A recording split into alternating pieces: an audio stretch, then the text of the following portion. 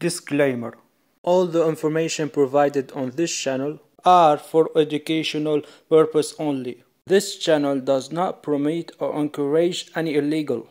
The channel is no way responsible for any misuse of the information.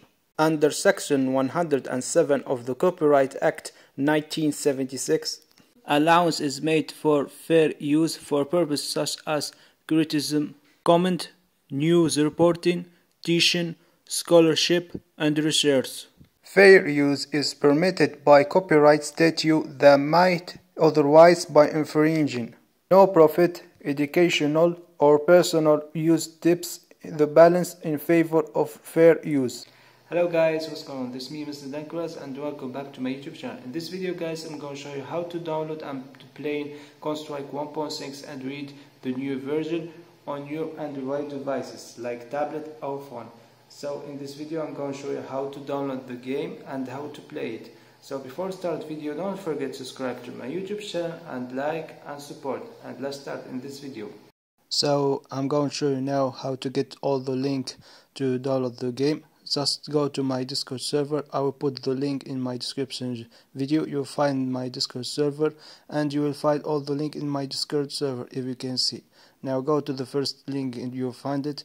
Uh, is about the folder of the game. Go install it and uh, you will go to install it. You can see now after that go to the second website.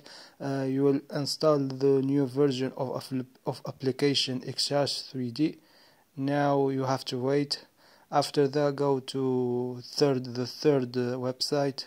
Uh, and the third website you're going to install Counter-Strike Leon application after that go to the play store and install ZArchiver application. You find it you will find it in the google uh, play store if you can see. This is the app. Go install it. And after installing go to the ZArchiver and go to the download file and go to and go to install the application Xash3D uh, new version. If you can see make allow and after that go to CS client application and go install it.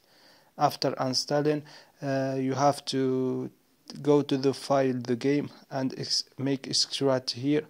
And after that go to the Xash file and make uh, select the both file and make copy and go to the Android file and then go to the data. If you can see go to the data and after that go to the Xash3D the uh, the file of the, the application and go to file and paste here. If you can see after that you have to go to the Xash3D and make sure everything is working. Uh, make a, make a refresh if you can see everything working. Now go to CS client and you have to wait. And if you can see guys you have now Counter-Strike 1.6 Android new version without any problem. So it's working online if you can see and so let's try.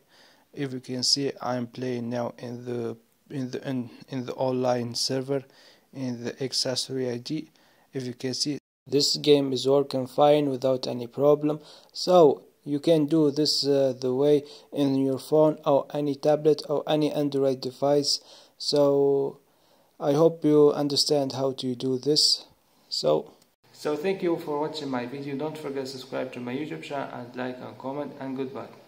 big thanks for the people who helped me to make this video